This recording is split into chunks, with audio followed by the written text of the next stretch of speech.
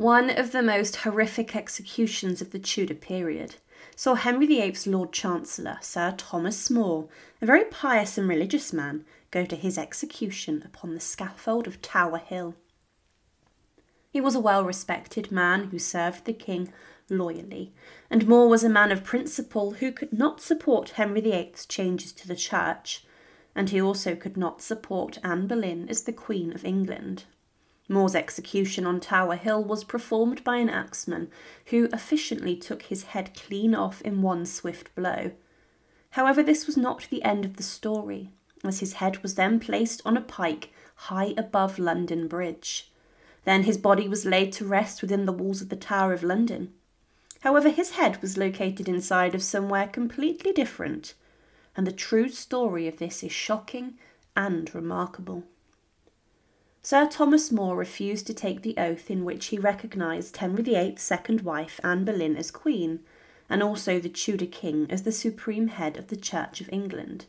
He was even forced to resign from his role as the Lord Chancellor on the 16th of May 1532. However, he stayed inside of Henry VIII's court as an adviser. However, his enemies then dug their claws in. People became vocal about his refusal to support the changes, and because of this, he would fall from grace spectacularly. He was even accused of working with a nun who predicted the death of Henry VIII, which was said to have been treason. And in the April of 1534, Sir Thomas More was forced to meet with the King's Privy Council to discuss the oath of succession and supremacy. He was ordered to accept the changes and swear his support as so many had, and he did make some concessions, saying Anne Boleyn could have been proclaimed the Queen. However, he did not accept the validity of Henry VIII and Anne's marriage, and he said this was not lawful in the eyes of God. He continually refused, and to get more to come around, Henry VIII had him sent to the Tower of London. It's believed as a threat more than anything. But Sir Thomas More was put up in comfortable lodgings inside of the tower, but he was willing to die for his beliefs and he was brought to trial on the 1st of July 1535. He was called in front of a court which was made up of Anne Boleyn's family members, including her father, and More, being incredibly intelligent, managed to wrap up the judges in his arguments, and he refused to answer questions. But the prosecution's key witness was Richard Rich, a man who is regarded to have been one of the most barbaric of the Tudor period, and Rich claimed that in his presence Thomas More denied the king's supremacy over the church. Because of this evidence, More was then found guilty of treason and was sentenced to death. And he continued to speak out.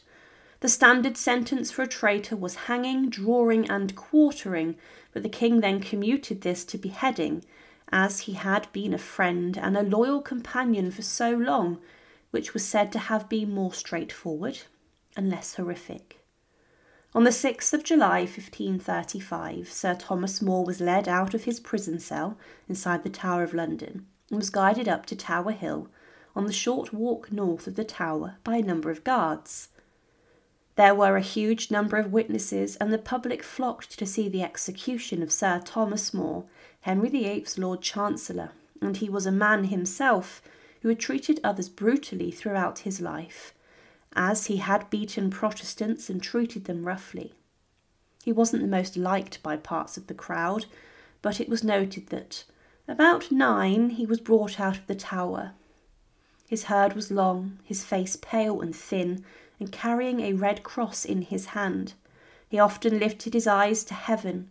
A woman meeting him with a cup of wine, he refused it, saying, Christ at his passion drank no wine, but gall and vinegar. Another woman came crying and demanded some papers she said she had left in his hands when he was Lord Chancellor, to whom he said, Good woman, have patience but for an hour. The king will rid me of the care I have for those papers and everything else. Another woman followed him, crying he had done her much wrong when he was Lord Chancellor, to whom he said, I very well remember the cause, and, as I were to decide it now, I should make the same decree. When he came to the scaffold, it seemed ready to fall, whereupon he said merrily to the lieutenant, Pray sit, see me safe up, and as to my coming down, let me shift for myself. Being about to speak to the people, he was interrupted by the sheriff, and thereupon he only desired the people to pray for him and bear witness he died in the faith of the Catholic Church, a faithful servant to God and the King. And kneeling, he repeated the Miserere psalm with much devotion, and rising up, the executioner asked him for forgiveness. He kissed him and said, Pick up thy spirits, man, and be not afraid to do thine office. My neck is very short. Take heed, therefore, thou strike not array for having thine honesty. Laying his head upon the block, he bid the executioner stay till he had put his beard aside, for that he had committed no treason. Thus he suffered with much cheerfulness. His head was taken off at one blow and was placed upon London Bridge, where, having continued for some months and being thrown into the Thames to make room for others, his daughter Margaret brought it in, closed it in a leaden box, and kept it for a relic. However, this was not the end of the grisly demise of Sir Thomas More. As mentioned, his head was placed on a pike above London Bridge, but his body was taken back inside the walls of the Tower of London and was carried into the chapel of St. Peter ad Vincula, where it was interred inside of a crypt alongside many others who were executed on Tower Hill. His body would be joined by the remains of thousands, and today the body of Sir Thomas More is interred inside of an out of bounds tomb within the crypt which cannot be viewed by the public. However, what happened to More's head is remarkable and shocking. After it was taken to London Bridge, it was handed over to the Keeper of the Heads, the man who was responsible for maintaining the heads placed above the gatehouse of those who had been executed. These macabre exhibitions were intended to scare the people of London. But the head was dipped in tar and was placed 80 feet in the air. It was held there for around a month, with thousands passing under the head of Thomas More, and it was then replaced by one of his friends, Bishop John Fisher. But the head of More was not thrown into the River Thames as was customary. It's considered that his daughter, Margaret Roper, managed to bribe the keeper of the heads to knock the head of her father off the pike, and that she then managed to gather this and take it away with her for reburial. She embalmed the head of her father, covering it in spices, and she managed to preserve it rather well. For taking the head of her father, a man considered by Henry VIII a traitor, she could have been imprisoned or even executed herself. But when Margaret died in 1544, the head of her father, Sir Thomas More, was buried next to her in the same vault. However, in 1824 this vault was opened and the head of Sir Thomas More was taken out of it and shown to the public inside of St Dunstan's Church in Canterbury.